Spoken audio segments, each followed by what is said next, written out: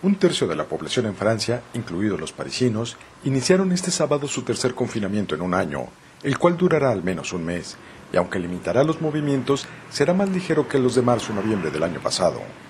16 departamentos del país, donde residen 21 millones de sus cerca de 70 millones de ciudadanos, afrontarán restricciones con las que el Ejecutivo espera frenar la pandemia en un momento en el que la media de contagios roza los 25.000 diarios y la tasa de incidencia en la última semana llega a los 266 casos por cada 100.000 habitantes. Para este tercer confinamiento, se podrá salir de casa con un justificante a una distancia máxima de 10 kilómetros y sin límite de tiempo. Los colegios seguirán abiertos y también los comercios de primera necesidad, una categoría en la que entran las librerías, tiendas de discos, de bricolaje y las peluquerías. Sin embargo, el Ejecutivo no basa toda su estrategia en las restricciones. Tras suspender esta semana la aplicación de la vacuna de AstraZeneca, pero este mismo viernes decidió reanudar su aplicación tras la opinión favorable de la Agencia Europea del Medicamento.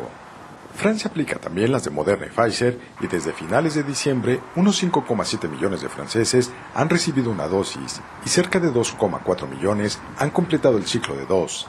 En este escenario el país confía en haber vacunado para mediados de junio a dos tercios de su población mayor de edad.